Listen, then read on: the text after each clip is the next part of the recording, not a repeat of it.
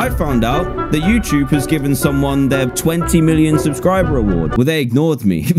But after 10 million, YouTube don't really hand them out to anybody, except if you're Marvel. Now you made it personal. Where's mine, bro? Where's Jack's? Where's Mark's? I eagerly await your response. And they never responded.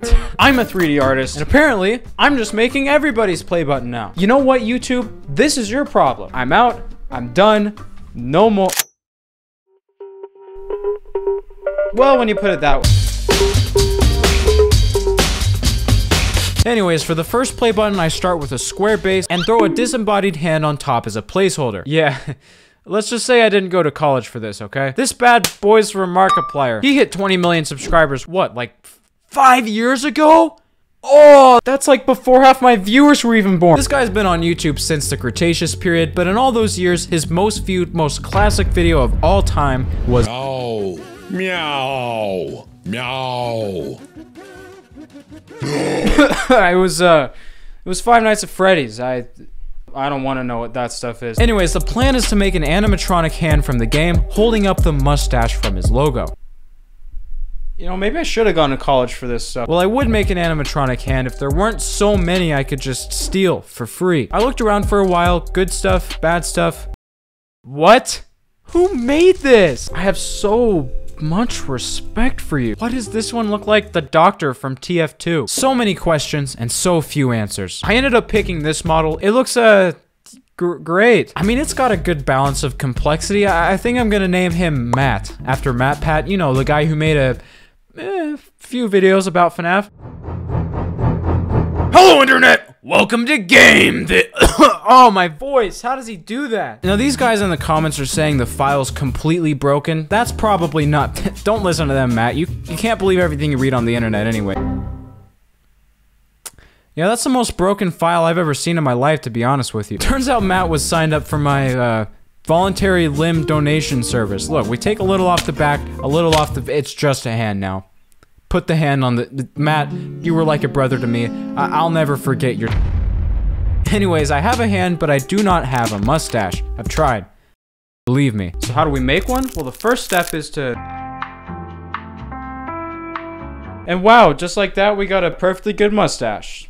That's crazy. Now this award needs to be just as good as something YouTube would make, if not better. But right now it's, uh, uh, it's getting there. I didn't want to admit it, but there's a certain part of this that might be throwing the whole design off. I'm not gonna say what it is.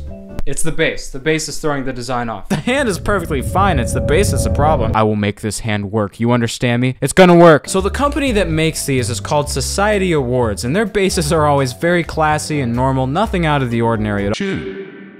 With headphones. So I ended up with this circular base, but Matt's hand over here, God bless his soul, it's not working out. It's like seeing an Overwatch player outdoors. It just doesn't fit. I don't know what to tell you. What? Uh, how, how'd that get installed? I don't know where that- Now, watch closely as I fix the entire model with a single button.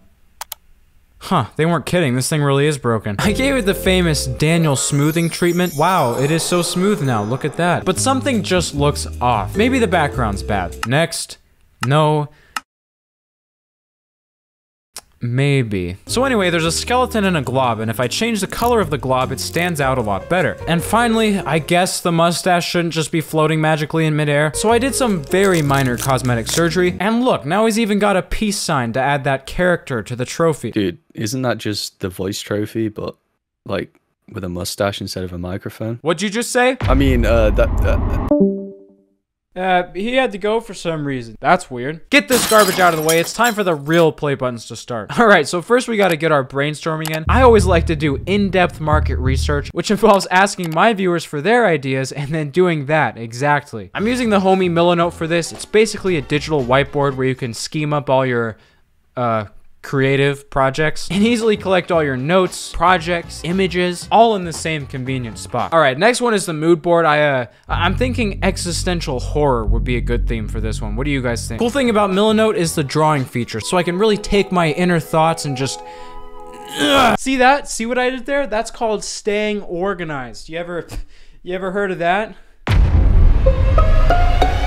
Try Milanote today by clicking on the link in the description. It's completely free and there's no time limit. So for this play button, I'm gonna need a square base, which can easily be accomplished by deleting the cube and then adding a cube. Perfect. And finally, we add a disembodied eyeball to use as a placeholder.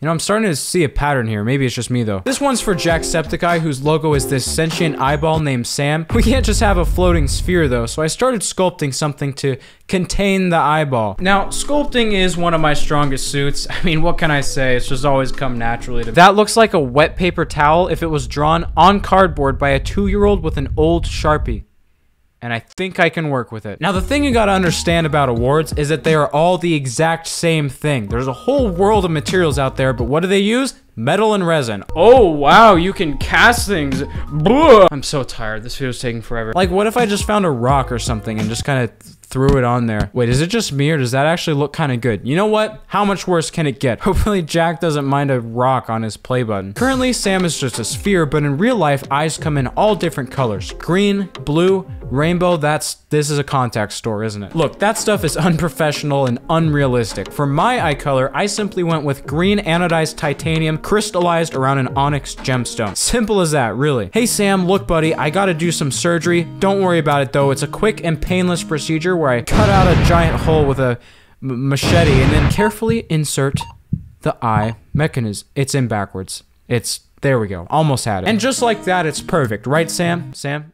Where? Oh, that's cute. He's rolling away. That's not gonna happen again, is it? Huh? I bet you feel pretty stupid right now. In the logo, it seems like he actually moves using his optic nerve, which is obviously way too graphic and disturbing for a YouTube play button, but it is perfect for a Daniel Krafft play button. Am I right or am I right? It looks even worse than I thought, which is just fantastic. I just imagine him walking around on it like he's a snake or something, but something is still missing, so I tried my best to figure it out. Now, if you look at it closely, you'll see these veins known as retinal blood vessels. I made some out of gold real quick and looped them around to hold the sphere in place. Try rolling away now, idiot, you can't. Okay, don't get mad at me, but we gotta do the surgery again. The texture for the titanium, it's like three pixels wide. It's getting desperate. We're talking Nintendo Switch resolution out here, just not acceptable for a prof professional product such as this. See, look, isn't that better, Sam? I, I knew you'd like it. What's that? No, I can't release your family. We already talked about this. Anyway, I did some final touches like a nameplate, these gold flakes on the rock. Bada bing, bada boom. Sam, blink if you're still alive. Okay, Sam isn't talking to me anymore, but uh, the play button looks great, so that's a success in my book. I started the project for my final play button, but you'll notice the default cube is actually still here. Now, I don't have anything against the default cube, but I'm gonna run it through an industrial grade shredder until it's ground into a fine paste, freeze it, and 30 minutes later, I mean, it speaks for itself. Tell me that's not the best cube you've ever seen, okay? I dare you. Now, DanTDM's logo is a big diamond, but I can't just copy that exact. Already did, moving on. The most confusing part is this base. It wouldn't be nearly weird enough for me to just leave it square. So at times like this, I gotta remember to stick to my self-care motto. Live, laugh, steal other people's work. Let's see what they made. Bro, no way, they made a steampunk play button? Wow, that's so cool. Man, DanTDM sure looks different without blue hair. After some deep research experimentation, I have concluded hexagon base. I would probably just pour this diamond out of resin, which means I could also dye it using this powder stuff. So if we extract the gradient from the logo, boom, look, it broke. Boom, look at that. It's exactly like the logo. I am so devoid of ideas. Wait, no, I got one. We could put little LEDs in the... Yeah, there could be a rave mode. Imagine having to plug in your YouTube play button, by the way. It, it could charge your phone too. I, this thing can do everything. Way better than the Marvel one. Can that charge your phone? Uh, I don't think so. You know what's crazy? Despite everything, it still looks too plain. So here's a quick montage of the different things I tried. Fool diamond. Fractured diamond. Minecraft diamond. Red diamond. AI generated diamond. What? That's a child. In the end, I tried like 12 more things, and I hate to say it, but I neglected my most genius idea yet. Hexagon base. But what if hexagon smaller? I just tweeted these renders at them. I need all of you to go like that post. They aren't going to see this if you don't blow up this tweet, which is fine if that happens, but I mean, it charges your phone. What else can I say? Congratulations on 20 million. You guys deserved this like five years ago. And me personally, I'm just glad they're done. Roll it.